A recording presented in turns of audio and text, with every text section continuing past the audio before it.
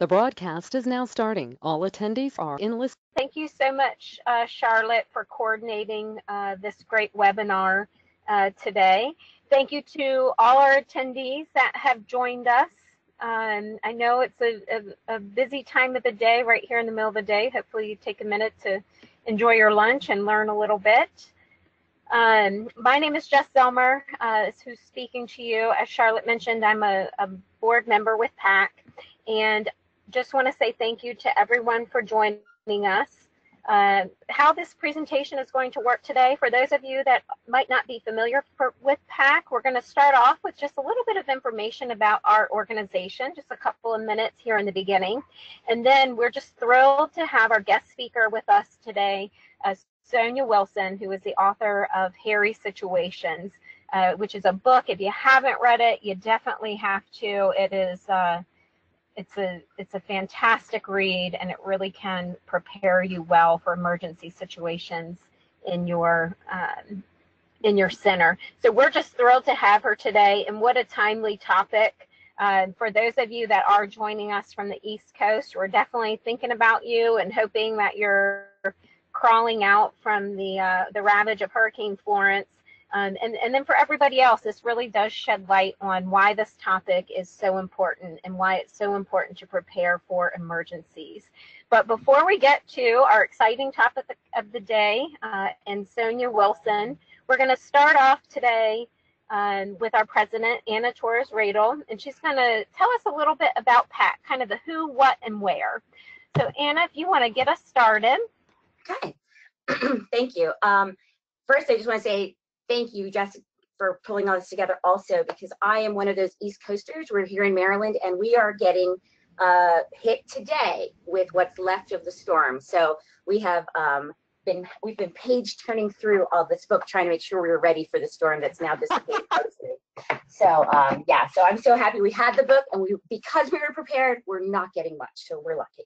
But um, just want to go back to, to thank everyone for joining us. And for those of you who are not so familiar with PAC, wanted to just tell you a little bit about it. The founders of PAC, um, Susan Briggs and Charlotte Biggs, set out to elevate our industry to the next level. This is not a totally new idea to the pet care industry.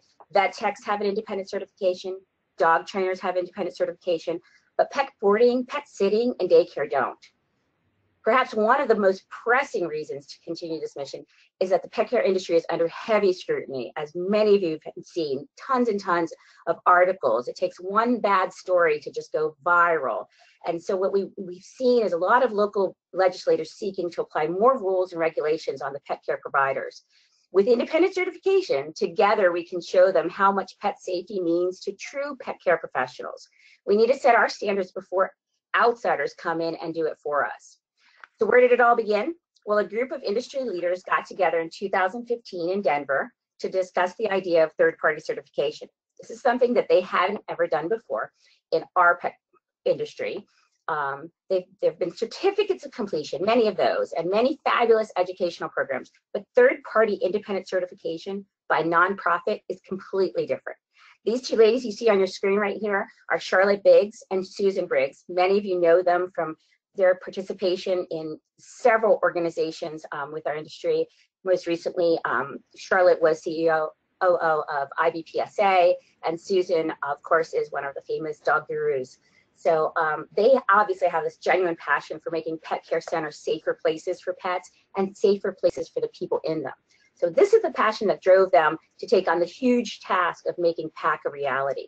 And what an achievement. So here we are three years later, and we have the creation of three different testing levels, almost 114, not almost, we have 114 certified pet care professionals, Charlotte counted this morning, that are on, then we are about to enter our sixth testing cycle. So this is really a huge achievement for us and we're super, super excited to get the word out. Um, but the success of PAC is dependent on our volunteers. So if you share our passion for this mission, get involved, please.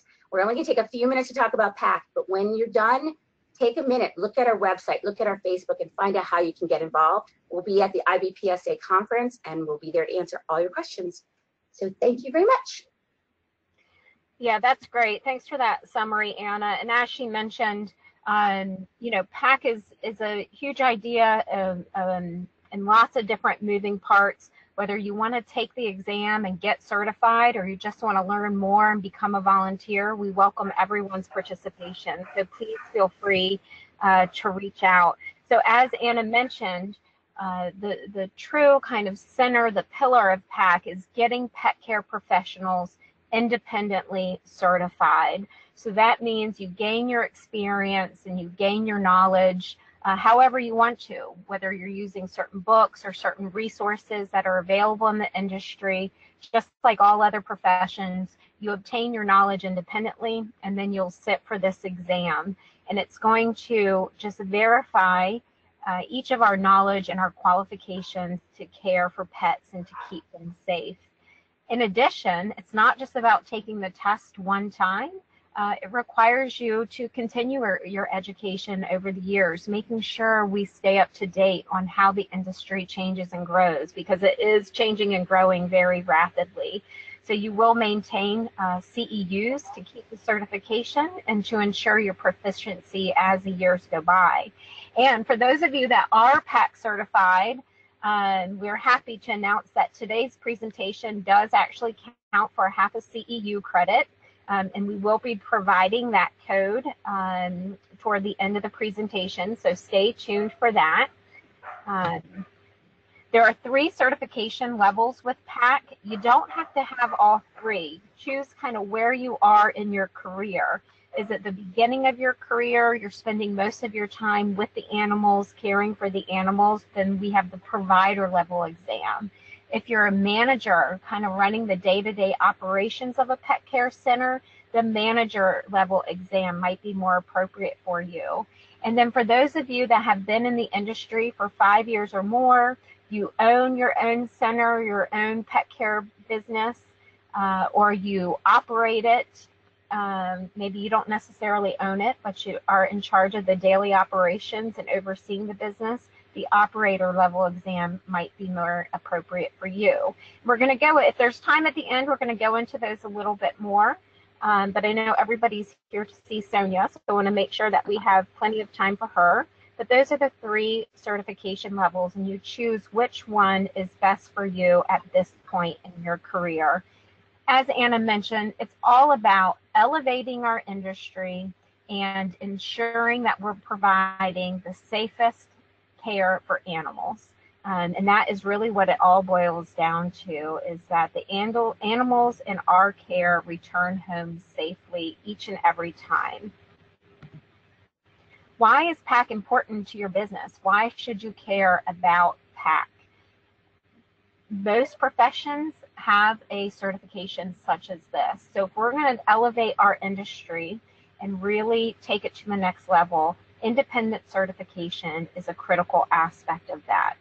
In addition, as I mentioned, our industry is changing and growing. There is so much competition these days. Competition can come everywhere from uh, your local big box store uh, down the street. Your neighbor can even be your competition now with the online um, dog offerings uh, that are available. So there is a ton of competition. Getting a PAC certification can really make you stand out from the crowd. Being able to share with pet owners in your area that you are knowledgeable and that, that it has been independently tested it's a great thing to put in your marketing, to share on your customer tours or when you're going to visit your pet sitting customers for the first time. This is a powerful thing that you can share with them that you are dedicated to having that higher level of education and knowledge. If you're an owner listening to this webinar, it's also a fantastic way to confirm knowledge and skills from your employees. I know that once we started putting in formal training into our pet care center, my blood pressure went way down because I knew that my employees had the skills that they need to keep the pets safe. So it really can be, if you're an owner, uh, allow you to know that your employees have what they need. And it allows you to recruit higher level employees. If you're going to um, put some effort into them and help them grow their career, you're going to find that you attract a higher level uh, staff member. Why it's important to your team. Pet care can be a real career, not just for people that own pet care centers, but also for people that work in pet care centers. And PAC will really, a PAC certification will really legitimize pet care as a career. So we think it's really important to have high level staff to have this certification and really help those that want a career in pet care be able to develop that and have a career path kind of laid out for them.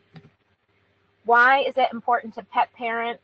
I am shocked every day by some of the decisions that my friends, that my family make when it comes to pet care. To us, because we're in pet care, um, you know, we think a lot of things are obvious, but they're really not. Um, my sister-in-law, her dog escaped from a pet care center, and and she didn't think that was you know way out of the uh, range of possibility and things that should happen. Um, and of course, accidents do happen; they happen to all of us. But it, it's amazing of the, the lack of knowledge with many pet parents. So PAC will really allow them a safe place to find pet care. Who is taking their pet care business and elevating it to the next level to ensure that that everyone on staff is certified and knowledgeable. So it's a really fantastic thing for pet parents. In terms of our marketing efforts, that's that's where we're going to be focused on in the next few years is educating the public on what PAC certification is and why it's so important to look for. The certification doesn't mean a whole lot if the public isn't familiar with it. So we've already started these efforts in, in making pet parents more aware of why this is important. So stay tuned for that. Okay, now the, uh, the, the speaker of the day, what everyone has been waiting for, uh, Sonia Wilson, who is a certified provider with PAC, has agreed to join us. And, you know, we are on a mission for increased pet safety, and that is why we're going to start doing these webinars uh, now that we have a big uh, pool of certified providers and it's growing every single day, we want to stick to our mission and give you all the information that you need to keep pets safe. And Sonia has agreed to be our, our guinea pig here, very first guest presenter uh, with PAC, and we are just thrilled. The timing couldn't be better. There's so many people thinking about this topic right now, um, and we're just really thrilled to have her. Um, as Anna mentioned, if you have not read her book, uh, you know, grab a grab a uh, a blanket and sit down with it, and it will it will really open your eyes to, um, you know, not just the scary stuff, but this how you can prepare for it. So things get a lot less scary once you you are prepared. So I'm going to switch it over to Sonia here. Change presenter, Sonia. I'm passing it over to you. And so just remember to accept that. And then I'll let you know when we can see your presentation. You should be able to see it now. We can see it. And Charlotte, you might have to chime in here, but it's a little bit small. I'm seeing a full screen. Uh, what you might want to do is look at your viewing. Uh, there's a box that presents itself. You can stretch that to the size that you want on Got your it. screen. Got it. Okay. Very good. And if you're having any issues with seeing the screen, Sonia's presentation, just just type into the questions box or the chat box. And Sonia, we will deliver it over to you. Thank you. I appreciate being uh, chosen to be the, the guinea pig of the present presentations. And uh, hopefully this is not a guinea pig type presentation, but one that you can use the knowledge from to take away and begin to put together your own facilities disaster plan. When I started putting mine together, it was because it was the result of several hairy situations that I had run into throughout the years, and I realized that I could not legitimately call myself a pet professional unless I had the confidence of my um, of my clients and part of building the confidence of my clients was to put together a disaster plan. That made a lot of difference. I have clients that come to me because I have one, because I know what's going to happen when XYZ happens. Uh, they feel more confident leaving their animals with me. This is not only appropriate because of the disaster that's happening on the East Coast, but coincidentally, September is Disaster Preparedness Month. So it this is the month to get started. Last month was the month to get started. Last year was the year to get started. So eh, um, it's it's too late once something has happened, but it's never too late to start before you have the problem. So don't let not having started yet prevent you from starting. And it doesn't have to be all in all all at once. You could start little by little. Let me tell you a little bit about myself. I can move my if I can expand. I can't move my screen, Charlotte. I'm looking to see why that might happen.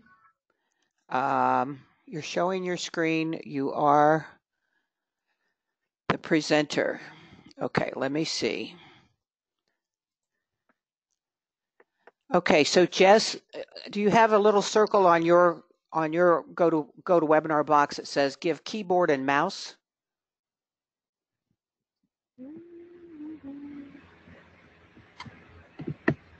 I do, but it's not highlighted. Okay. Um, you may have to use your uh, your touchpad. Are you using a mouse or a touchpad? I have a mouse. Okay. Oh, Sonia? Yes, Sonia, yes, do you have a touchpad? yes. Try moving it with that. Just push enter. Yes, I'm trying. It's there. I'll have to pull up a, a slide every time. Uh, uh, pull up a pull screen every time. Um, let me tell you a little bit about myself. I opened the first cage-free canine daycare in Austin in 2002. I think that there were several around before that, but uh, we decided early on that we were going to be um, free range, that the dogs were going to stay in their groups and not be crated throughout the day in and out. Um, so they they go in and out throughout the day and play in their play groups. Uh, as everybody has said, I wrote Hairy Situations, and I actually used it to write my plan as I was writing the book. So everything's been tested uh, that's in the book, um, tested and reviewed, and uh, I was inspired to write it not only by the problems that I had faced, but my industry cheerleaders, Charlotte and Susan, um, sort of encouraged me to become the writer that I, you know, already was. I was putting things out into the into the ether and um, without any formal plan of putting it together. And they both encouraged me in their own ways to put everything together and, and get it all in one place. And that's what I've done. I was amongst the first uh, testees in the CPACP in the um, in the PACCC testing program, and I, if you haven't done it yet, I highly, highly recommend it. If you're signed up for it for the next session, I think the deadline is September the 30th. Get get signed up. It's it's not an easy test, and uh, it's a challenging test, but I feel better. My clients love seeing the certifications that we earn on our wall because we proudly proclaim them. Um, and I took it a step further, and I'm also a NAPPS certified pet sitter. I I maintain professional um, memberships in several organizations across all of the things that I do because I think it's important to have knowledge. And the knowledge that I gain from these memberships is invaluable to my business. It it far exceeds the membership cost. So I suggest that if you don't have professional memberships, that you join and see the return on your investment that you will get. Let's, there you go. Now I got it. Whether you call it a crisis, an emergency, a disaster, whatever level it happens to be, if you're not in front of it, if you're not prepared for it, it's going to get the better of you. A lot of small things can put you out of business. For example, there was a uh, the the subject of kennel cough and canine cough is more appropriate title for it. The subject of canine cough has been coming up quite a bit on the discussion boards that I'm on. And there actually has been at least one, probably more than one, kennel that completely closed forever because they couldn't get a handle on canine cough. They couldn't educate their clients to the point that they weren't losing them as their dogs came down with canine cough. They couldn't get their facility uh, free of it and um, set up a process by which they excluded dogs that were coughing. That's a disaster that you would have to close your entire business because you didn't get a handle on, you didn't have a plan for dealing with that. What should have been a minor crisis, a blip in the road, became the end of the road for them. And I don't want that to happen to anybody else. So you can see in the background that I have the uh, the uh, cartoon sounds, uh, you know, crash, bang, boom. Usually, when I hear those sounds in my facility, I say this, which is not a nice thing to say, but I have said this way less often now that I have my uh, my disaster plan in place. I'm not constantly worrying about what's going on. I'm able to let go and trust my staff to follow the procedures that we've put together. Now, I'm going to spend just a few minutes going through a few crises that happen in real life. And I want you to think about whether or not this has happened to you and whether or not you have a plan for it. Because some of these are pretty simple and some of them happen way more often than you think they do. Fire is the number one crisis that we should be worrying about because it happens more often than you would think.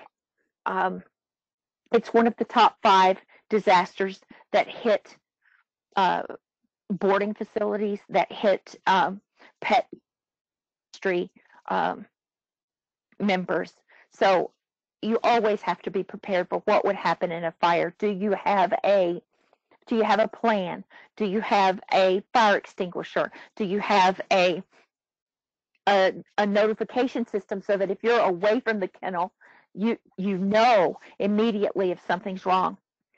The people in this situation lost quite a few animals across several buildings, and they had a plan. They had a, pre- a preparation. The problem is that they did not follow their plan, that they let it get, they let the crisis get ahead of them.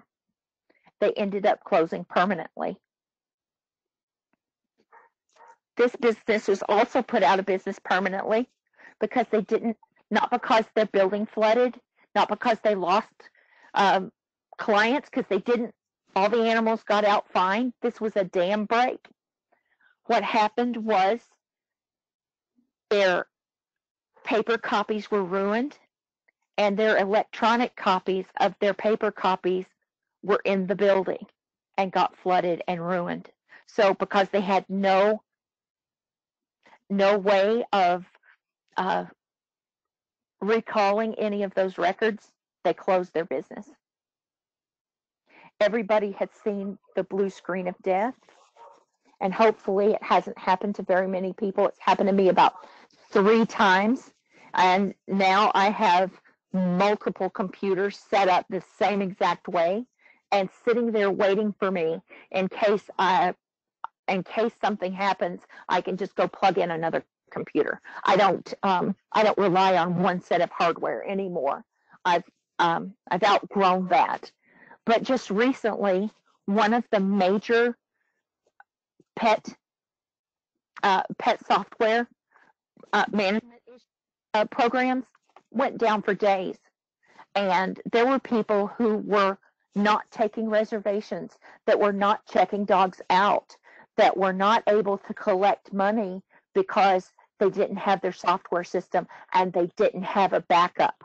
They didn't have even paper and pencil was too hard of a system to keep up with because they hadn't done it before. They hadn't taken their system offline and practiced it so that they could keep up with it.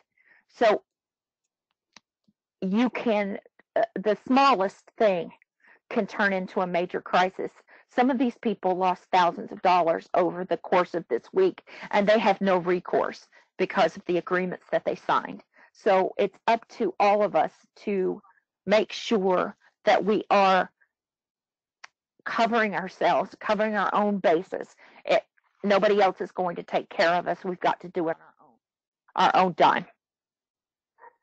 Employees are always, always, always going to be an issue, whether it's not having enough, not having the right ones, having too many, having drama, whatever it is, you're going to need to, to have policies and procedures in place to deal with that.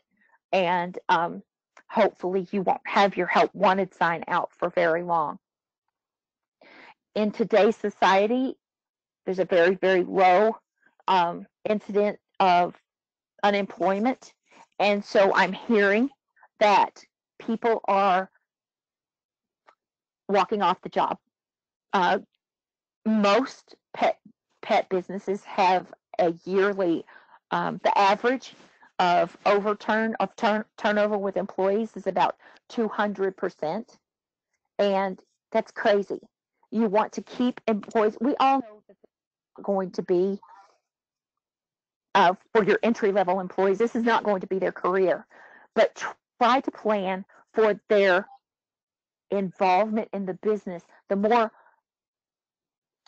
the more involved they get in planning and day to day and the the events of what goes on and the more they're they're the more interested they are in helping your business su- succeed the better off you're going to be and the longest the longer you're going to have them of course there's always those of us that have had employees for multiple years but those are the employees that are engaged and interested in the success of your business.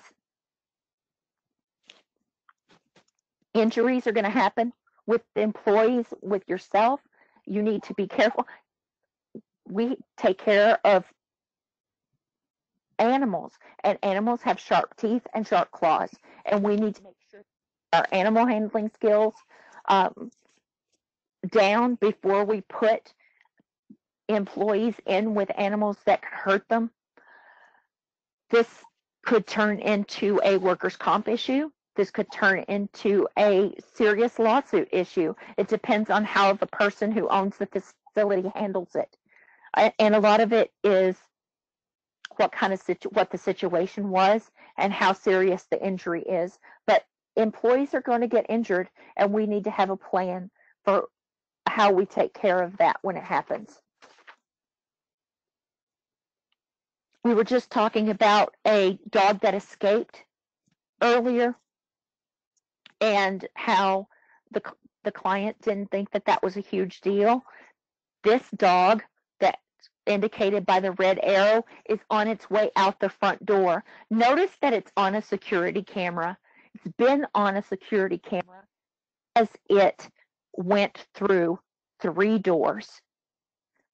This door was its fourth door. It had gotten out of its kennel, the first security door, the second security door, and then it went out the front door. So, and the whole time there were employees in the building and the dog was on a security camera. That may be a training issue. It may be a it may be a uh, uh, reconfiguring the building issue, but that's the kind of thing that we're going to be thinking through as we walk through our buildings and put together our disaster plans. Pet injuries are also um, something we try to avoid as much as possible. We can't have everybody walking around in Elizabethan collars and bubble wrap, but we want to make sure that we have our our groups put together. We want to make sure that we have our safety plans in place, and we want to make sure that we minimize our impact on our dogs. Our our animal safety is the top priority at Southpaws, and as it is with everybody who's listening to me, I know that I'm preaching to the choir. This a, a pet injury can be minimal and can cause a huge problem. Um, it can be um, a huge injury and cause a minimal problem. It depends on the client and the dog and how you handle it. If you don't have a plan and you haven't thought through it, you're not going to be able to to deal with it in in the appropriate manner. Canine influenza, um, giardia, all kind. Um, I've heard of distemper going through kennels.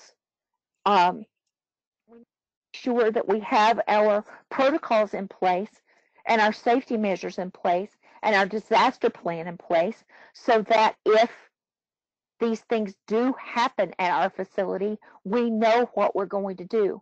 We're not spending time putting together a plan at the last minute. And then, of course, all of those things that are negative add up to negative Yelp reviews. I heard somebody yesterday using Yelp as a verb. I'm going to Yelp you. Well, yes, a lot of people Yelp people um, Yelp us when they're not happy. Not not that many Yelp us when they are happy.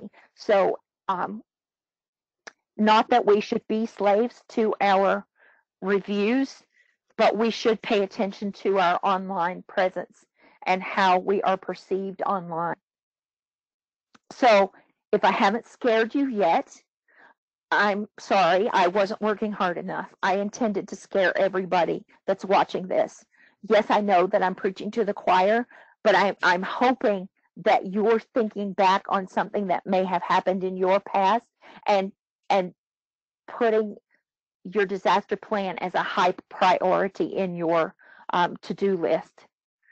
Because it won't happen to me is not a plan. Really it's not a plan.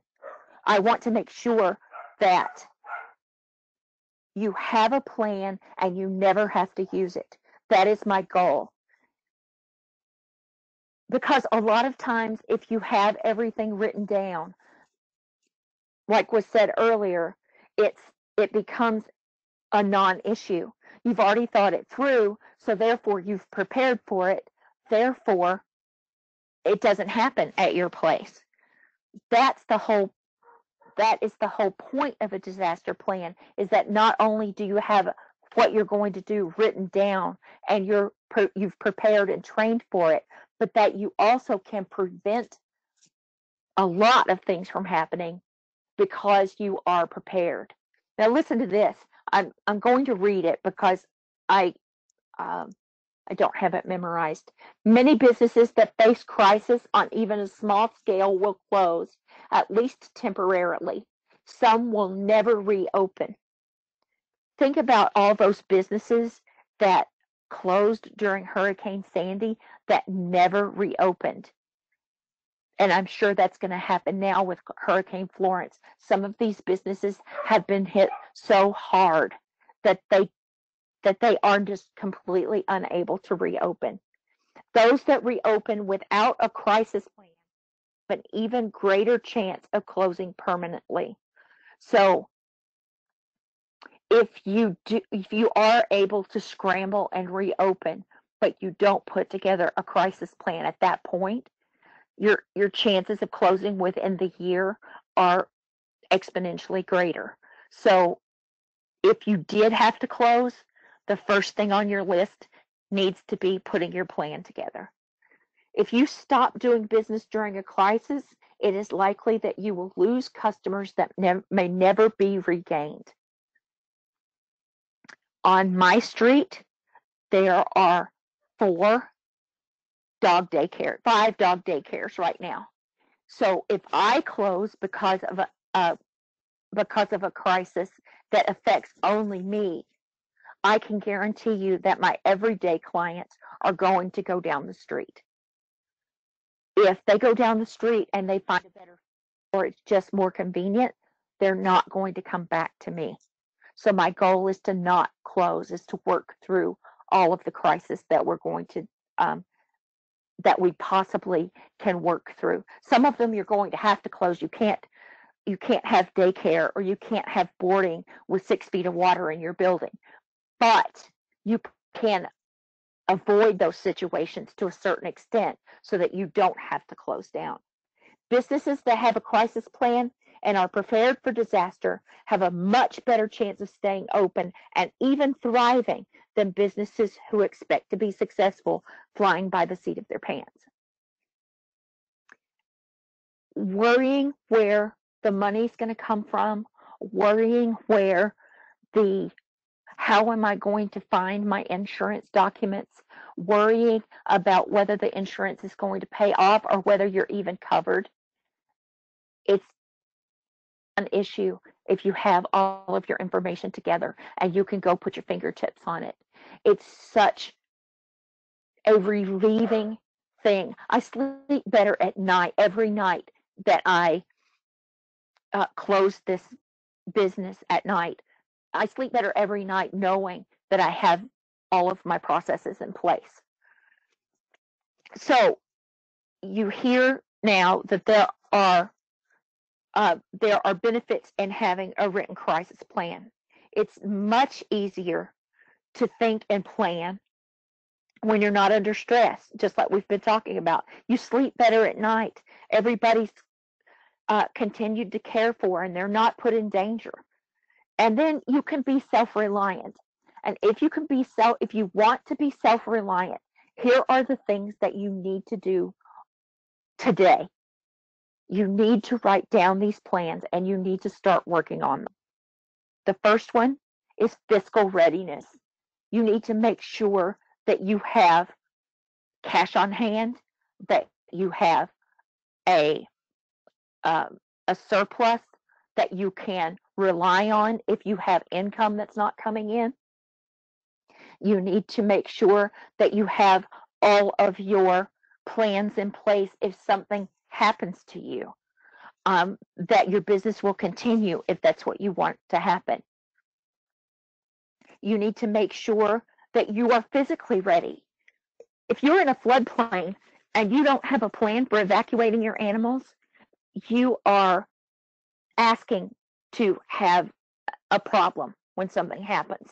So you need to make sure that you are physically ready. I personally hoard crates when somebody brings me a crate, I have an entire shed that only has crates in it. I have enough crates for every dog in my facility.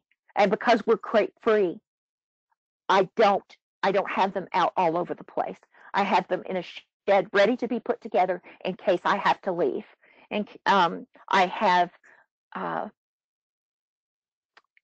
I have agreements with other uh, pet facilities. I have an agreement with um, the people next door to me that I can stage my crates and put the dogs in the crates in their parking lot if I need to, so that I can get the dogs. They have a um, a circular driveway so that I can get clients in to pick up their animals if I have to evacuate them from my building.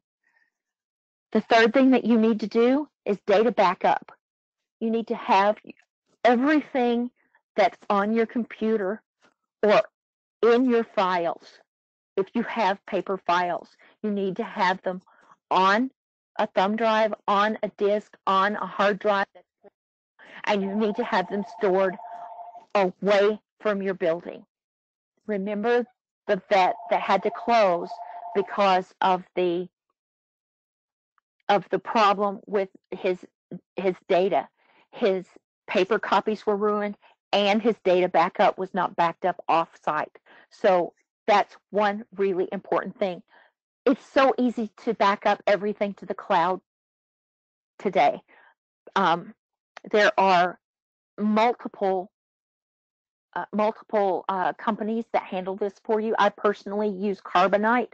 I I don't I don't have experience with other companies, so I can't say whether I I do recommend them because I use them and because I haven't had any problem with them at all recovering documents if I happen to uh, if I happen to lose something.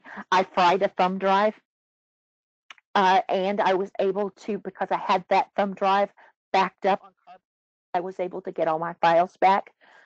Believe it or not, I left a thumb drive in the Detroit airport. And if any of you live in Detroit, go look for a Scooby Doo thumb drive, please, if you're there, because that I didn't have backed up and I have had to recreate all of my files. That was one of my hairy situations. And I I learned really quickly that if I wanted to cry and tear my hair out, that that's exactly what I needed to do is keep all my information on thumb drives that are very um, they're easily lost. You need to write, have everything documented. You need to have your processes documented. If you're not there to show someone new how to um, mix the chemicals to mop the floor, you need to have it written down. If if you have um, you need to have an employee manual. You need to have everybody be able to go to the manual and look up what their issues are. You need to have everybody familiar with your disaster plans. And in order to get everybody familiar with them, those processes have to be written down. That's really, really important. In fact, I would tell you that a disaster plan is more important than your employee manual. So if you are working on both of them at the same time, finish your documentation for your disaster plan first because when I was writing mine, a lot of what was in my disaster plan dictated how I wrote my employee manual and what I included in it um, so that I wasn't having to go back and forth and say, oh, I need to add this in my disaster plan. I had it all in my disaster plan, and then I was able to put together my employee manual without going back and forth. It was very helpful. Insurance is so critical in this industry. We all have to keep in mind that this is a this is an industry that is based on our clients' disposable income. They don't have to come to a groomer. They can do it at home. They don't have to get their dogs washed. They can do it at home. They don't have to have daycare.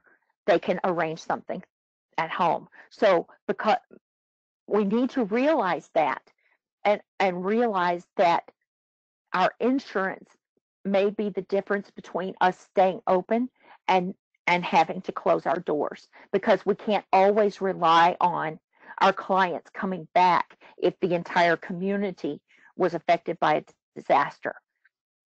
Um, and I highly recommend. I recommend is uh, business interruption insurance that has no waiting period and that depends on uh, that that you already have all your documentation for the in, income for your last year and your year before that so that you can document the income that you're losing. Um, that insurance check may be what you're depending on. You may not have enough of a cash um, a cash reserve put together, and you may have to wait for that insurance to come through. So if that's the case, you need to make sure that you have everything insured that you possibly can. So once you've got it all written, once you've got these steps taken, what do you do next? And you have to train. You have to train your employees and you have to train your clients. You cannot just put it and let it sit on a shelf you have to let everybody know that there is a disaster plan and that you have to let them know what's in the disaster plan. We don't want to be this dog, uh, this group of dogs. We don't want to actually leave it to our pets to follow the disaster plan. Um, I love that I love that cartoon because it is exactly what so many people do. It, we're going to do two steps, and that's it. That's all we're going to do. Um, and I, I don't want that to happen. I want I want everybody to be trained in what they can um, what they can pass off. You pass off. You cross train your employees. You give them um, you give them ownership of the tasks that are going on in your disaster plan, and you train them um, so that they know pet first aid. They know human first aid minor crises that go on in your business on day to day don't close you down. With your clients, they need to be trained in pet first aid. You can always encourage them to do that. Um, have a train have a trainer come in and and train your employees all at once. Require at, at our facility, our employees don't touch our animals until they are trained in pet first aid. Um, because I want to know, I want them to know how they can avoid some of the problems that show up in a pet first aid class. And they can't do that if they're already hands on before they know how to avoid things. Um, I want you to encourage your clients and your employees to be personally prepared, to have everything put together in their own homes and have their own disaster plans. Because if they can't if your employees can't aren't prepared they can't show up for work to help you you have a, a major disaster happen. And i want you to train your clients to never leave your pets at home. That is uh, um, that is a, uh, human disasters become pet disasters when clients just leave and leave their pets thinking that they're going to come back and get them it's it's um, it, it's just heart wrenching. So you've done all these things. You're properly scared and you've already started making notes about what you're going to do. What I want you to remember is that emergency planning is a continuous process. Your document for your disaster plan, as well as your employee manual, as, as well as your standard operating procedures, they're going to be live documents. You're going to be making notes and plans and re- revisiting those documents on a regular basis. You're going to be revisiting disaster stockpile on a regular basis, trading out um, outdated products and putting in new products. You can't go to a two year old disaster kit and expect batteries to work or expect um, any of your products to be in date and be usable. If you, um, so that's what's going to happen if you just put it together and say, I've got it and leave it alone. Make sure that you have somebody designated to take care of that on a regular basis. And then that way, delegating it becomes something you don't have to worry about. You don't have to worry about doing this on your own. You have a team, utilize them. So all this boils down to is that you have the ability to affect your pet care business's bottom line with the work that you put into a comprehensive um, disaster plan. You will pull in clients because you have a disaster plan, because they know that you care about their animals, and because you you don't have employee turnover every time something happens in your in your business everybody doesn't go crazy trying to solve the problem. And that stress is what causes a lot of employee turnover. If your employees are trained and they know what to do, and you're you've trained yourself and you know what to do, then you're going to be able to concentrate on working on your business instead of in your business, and you actually will increase your um, your investment.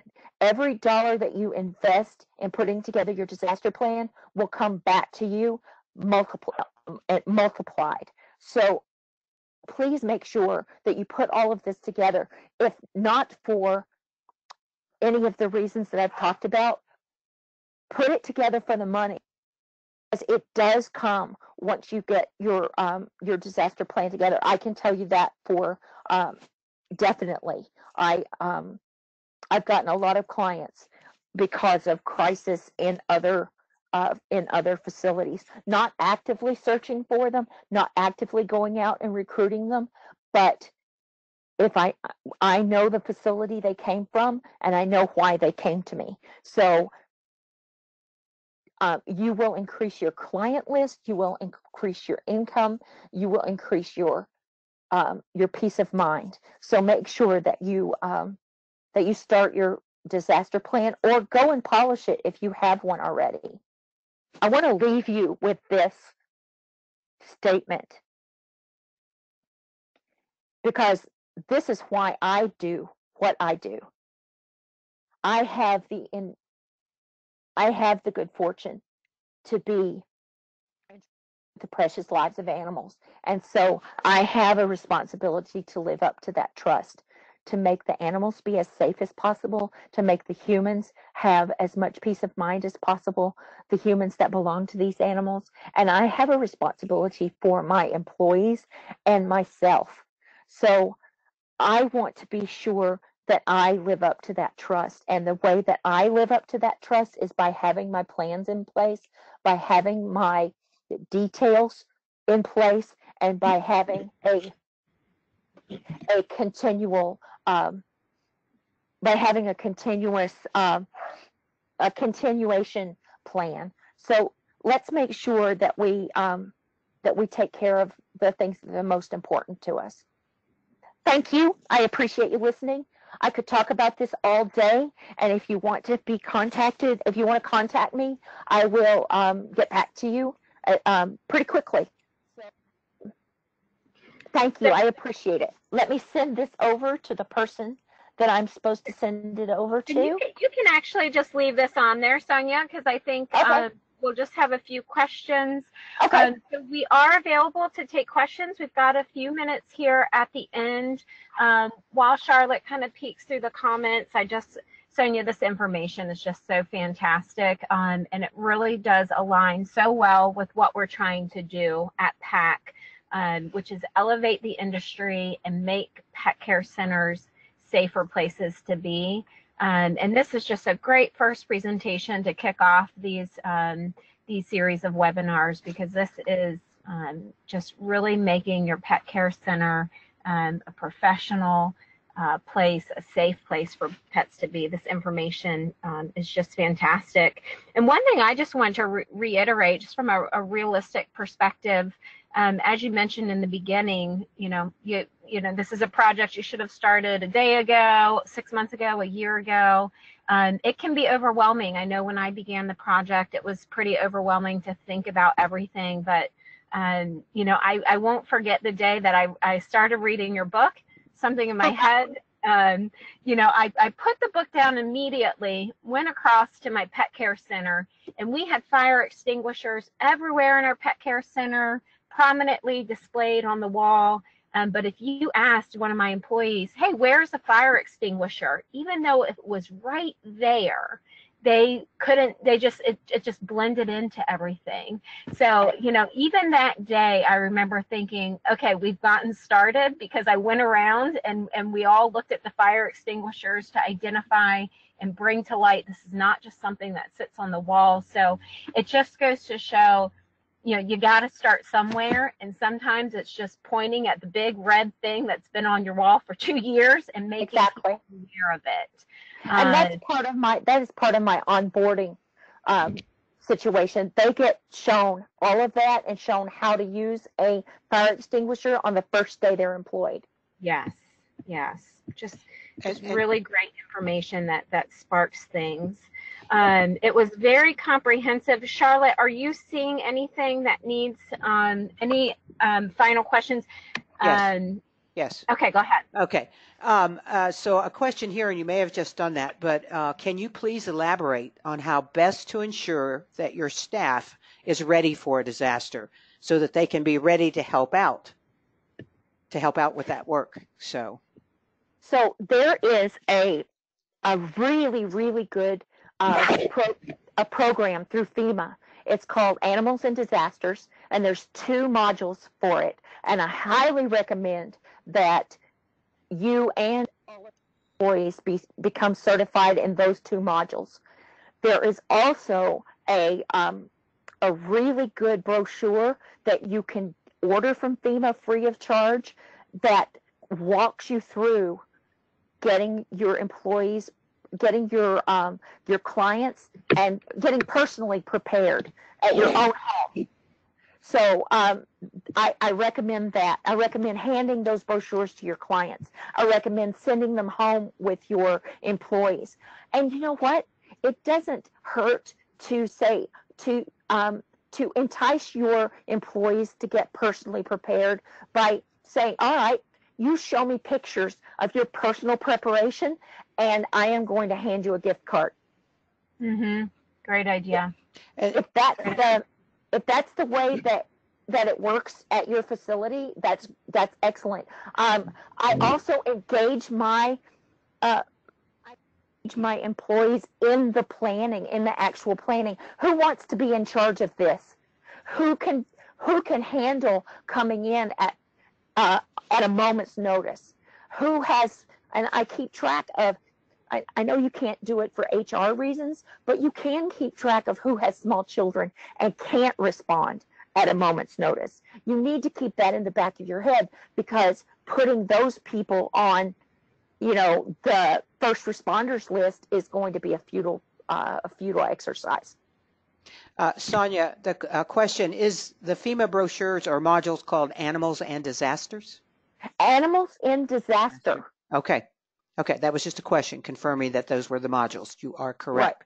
Yes. And Charlotte, I wanted to shout out the uh, continuing education number because I know we're approaching the end of our time and we could definitely stay on a few extra minutes. But the, the, the code that you need for your continuing education number is C as in cat, C as in cat, 170051. I'll repeat that one more time. C as in cat, C as in cat, 170051. Excellent. Excellent. For those of you who are certified with that code, you can get a half a credit, half CEU unit for having attended this webinar. Um, Charlotte, and somebody's asking if you can type that into the questions box. Is that possible? I can. It's C is in cat, C is in cat. Tell me again. Oh, C is in cat, C is in cat, 170051. Five, one. Send to all. Um, Very. Sonia, there is a question. Um, where can they find your book? The I am going to uh, give an the IBPSA the first plug for that. If Okay. you uh, if you use Kindle, you can get the Kindle version on IBPSA for a discount, and part of the money that is um, that is spent on the book goes straight to IBPSA Oh, great. so it helps to support them. You can find it on Dogwise. You can find it on uh, Amazon. You can find it, uh, it. That's in both versions, both places, um, and you can find it on uh, my website. You can email me, and I'll um, I'll send that to you. Um, Okay. Send the information to you. I have two. Great. And the other thing, oh, go ahead. Oh, I was, there was two more quick questions. Go ahead. One, one is that animals in disaster, also the FEMA brochures, and are they free? Can you pass Yes, them? they are free. You can get 200 at a time.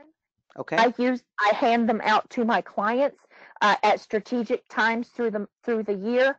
Uh, usually, I'll attach it to a vet release form, my emergency vet release form, and uh, hand it out as a little packet. March is uh, Pet First Aid Month, and September is Disaster Preparedness Month. So we usually do our handouts in those two months to get all of our clients. And um, and I hand them out in my first aid classes also to make sure that everybody is um, personally prepared. And, and you find those on the FEMA website, is that correct? Yes, Okay. yes. Then one more question. Um, how do you get your employees to volunteer to help during emergencies? For example, for this person, they're on the East Coast. Many of our staff are reluctant to drive in the snow. Have a vehicle that can come and get them. Yes. And and I'll, I'll just do a I'll just do a side note. Um, I had employees who volunteered to be to do emergencies with me if it came up, but I also had neighbors. They were clients who I knew had Mhm. vans and large vehicles, and I'd said, I- if we need help, would you help us? Because of that Mm-hmm. that Bastrop fire that we had, would you help us evacuate? And Yeah. so we reached out to neighbors as well. I have a I have a first responder team Yeah. of clients, and they have been given the um, we have them on our emergency uh, our emergency uh, release our uh, when when clients sign in can uh, that I can South Paws can can uh, send your animal home with somebody, and we keep really good track of where the animals went. We will if we have that disaster come up but my first responders have all been given a, a pet first aid class free of charge. They all have said that they are able to leave work at a moment's notice, and they all live within two or three miles of our facility. Mm, That's great. Such It's- great advice. And Sonia, one last comment. Um, uh, you put the first throw out to IBPSA. If someone's not an IBPSA member, they can become one. But you're also on Amazon. Is that correct? I am also on Amazon. Okay. That's that's the questions. Yeah. Yeah. Um, so this is, like I said, this just aligns with PAC's mission so much. We're so grateful to Sonia for being here today. Um, if this is a community that you want to be a bigger part of, as we mentioned, volunteers are always welcome. Um, so please uh, visit our web website um, for more information. In addition, if you're interested in taking the PAC exam, um, uh, Sonia, you did have the date right. Uh, the deadline to register is actually September 30th, and the registration process um, it does involve uh, providing um, a couple of forms and identification. So it's not something you can go to uh, at 8 o'clock at night on September 30th and complete. So if it's something that you're interested in, take a look at that today. And then that does give you time to study because the exam, uh, the exam window uh, for that is October 27th to November 10th. So just because you register at the in September, you do have a month, six weeks to study for it. Um, so please go take a look at that. Again, it's all about the safety of the pets, the safety of the people that work in these pet care centers. Um, any final thoughts, Sonia or Charlotte, before I close this out? Uh, there's just one additional comment from Ben Day, Sure. and he's a uh, an emergency expert as well with IBPSA and insurance Mhm. person, and he just said not to forget about the risk insurance issue that you may have with requiring staff to come in on ice or something like that. So it, uh, that that requiring them to is a is a touchy issue. So Mm. okay, so Mhm. just just sharing that. That was the last of the comments in the question. Yep. Okay. That- And that, that's very valid. Yep, and that's what we can all research during our preparation, Yes, we right? can. uh, well, thank you so much. It was fantastic. If you have any additional questions, um, please feel free. Everyone's going to get the contact info. This has been recorded as well. So if you have friends that you think could benefit from this or you want your employees to watch it, look for that recording link uh, and, and uh, you can view it again or you can send it on to people. Thank you so much, Sonia. Thank you so much, Charlotte, Anna, for joining us. And thank you to all the attendees.